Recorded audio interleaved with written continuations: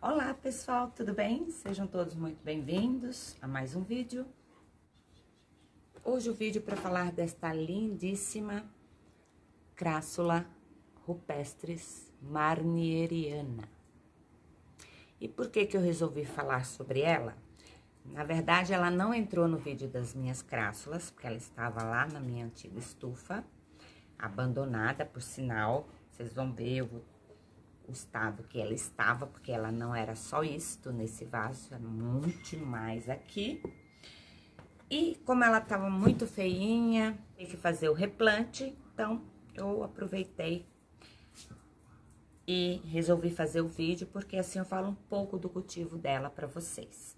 E assim acrescenta as 32, ficaram então 33 crássulas do meu cultivo. Quem se interessar, quiser conhecer as outras crássulas, tem um vídeo aí, tem a playlist no Jardim das Suculentas, que tem vários, vários vídeos falando de várias espécies e outras coisitas mais. Então, assim, ela estava neste vaso pendente, porque ela fica pendente ao longo do crescimento.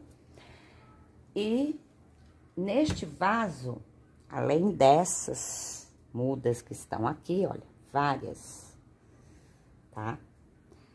Eu tenho também essas que estão aqui na mesa, olha.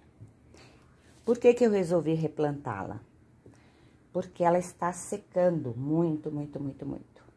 A época de desenvolvimento dessa planta é na primavera, como várias outras plantas, né? A maioria delas. Olha como está os galinhos. Tá vendo aqui bem secos? Já limpei alguns, deixei os que estão menos, menos ressecados. Vou, então, limpar todos pouca eles. Raízes. Não tem nematóide, mas tá com pouca raiz. O substrato acho que já tava muito velho. E então, eu vou o quê? Dar um jeito nisso aqui. E aí, já vou falar um bocadinho dela pra vocês. Como que a gente faz pra propagar essa menina linda. Então, vou escolher alguns mais bonitinhos, que vão voltar pra cá. O que eu fizer o corte, vai então pra enraizamento em outro vaso. Um instrumento de corte, né? Observar aqui qual deles está menos feinho, tá? Que nem, ó, por exemplo, nesse galinho aqui, ó, tem esse que tá um fiozinho de nada, ó. Então, esse já vai ser cortado. E assim eu vou selecionando. E tem uns bons, outros nem tanto. Parece um cabelinho de anjo. Ela é uma planta perene, né? Eu tenho ela há muitos anos já, mais de três anos, muito mais. Gosta do sol, tá? Quem cultive ela no sol pleno. O meu cultivo é meia sombra, né? Que a gente diz. Ou seja, um sol pela metade, não o dia todo.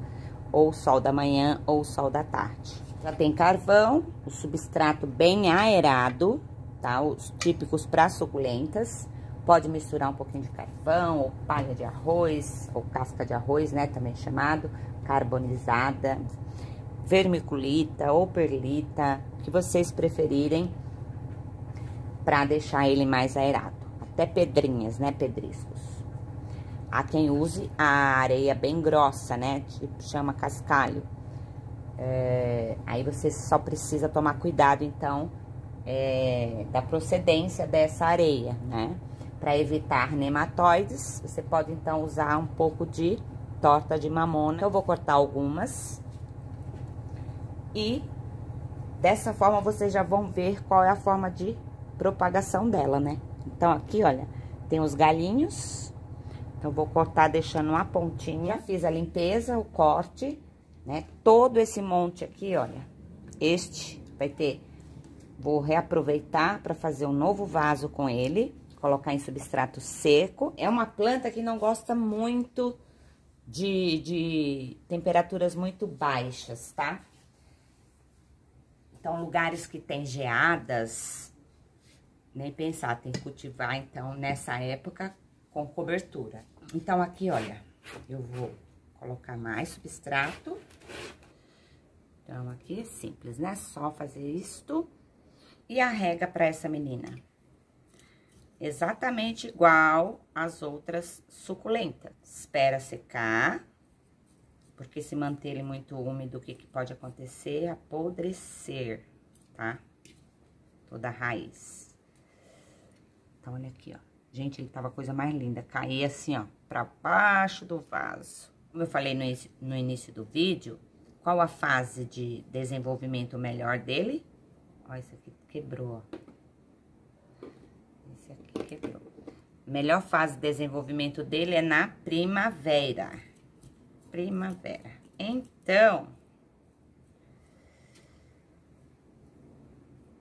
provavelmente ele não vai se desenvolver tanto. Não é o ideal nessa época fazer esses replantes, mas eu não sigo muito isso não. Só sobraram vários galinhos, tá vendo? Olha, vou aguardar uns, uns três dias, tá?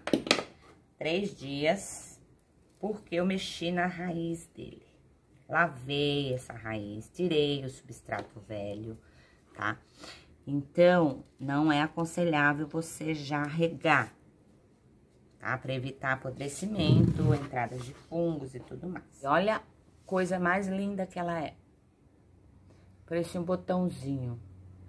Pares de folhas, como é a característica das crássulas, pares de folhas né, opostas. Nasce uma nessa direção, a outra assim, e vai. Pensa aqueles macarrãozinhos também, né? Muito linda. Ela é linda. Ela fica mais verdinha, tá vendo que as minhas estão mais verdinhas, porque ela tava em local mais sombreado. Ou ela pode ficar com as pontinhas aqui assim, ó, amarronzada, avermelhada, se tomar sol. Então, das duas formas, ela é linda. Olha que fofura. Então, uma ótima opção para cultivo aí para vocês, tá? Quem gostar das crássulas, tanto pode ser na meia sombra, né? Com a parte do dia de sol, quanto o dia todo. Porém, não esqueçam de adaptar essa menina, hein? Qualquer suculenta, na verdade, qualquer planta, né? Que sai do garden, sai das lojas, do supermercado, a gente tem que tomar esse cuidado. Não vou pôr pedrinhas agora, tá? Depois eu ponho, que agora eu quero observar melhor como que vai ser o desenvolvimento aqui dessas estaquinhas, né? Dessas raízes todas. Ficou assim o vaso principal, de onde foi tirada, voltou para o mesmo vaso e as mudinhas eu coloquei numa cuia. Que daí eu quero ver as mudinhas, estaquinhas, né? Que a gente fala, ó. Então, eu centralizei as menores, fui enchendo, enchendo, enchendo e fiz desta forma. Aí, uma dica que eu queria falar pra vocês é o seguinte. Quando você... Ainda tem mais estaquinha aqui que eu vou colocar, gente. Algumas aqui, tá vendo, ó? Então, qual a dica que eu falo pra vocês? Como esses galinhos aqui estão aparentemente secos, tá? Então, quando você quebra, você percebe a rigidez dele, se tá fresco, né? Se tem vida ou não. Então, o que que eu faço? Como ele já tá velhinho, eu limpo, eu limpo essa ponta. Então, eu faço, eu tiro uma folhinha dessa aqui, ó. Corto ela, tiro Pode tirar até duas se quiser, tá vendo? E aí vocês espetam. Tá o galinho mais fresco e pode cortar a pontinha velha e vai colocando, pessoal, tá bom? Esta aqui vai cicatrizar por três, quatro dias, né? Não tem raiz. Esta aqui tem raiz, porém, foi mexida. Três, quatro dias sem tomar chuva, né? E aí, depois eu começo a rega nesta. Essa daqui eu vou demorar um pouco ainda. Vou esperar uma semana para depois começar a regar, tá bom? Espero que vocês tenham gostado desses cabelinhos encaracolados. Muito fofa, fácil de cultivo. Então, um grande abraço a todos. Não esquece de deixar um curtir, pessoal. Ó, canal precisa crescer. Ele só cresce se você deixa o curtir porque daí o YouTube entende que você tá gostando, outras pessoas também podem gostar. E aí ele lança esse vídeo para mais pessoas assistirem. Muito obrigada a todos aí, meus inscritos, a todos que estão chegando, que estão acompanhando. Quem ficou até o final, um abração e até o próximo vídeo. Tchau, tchau!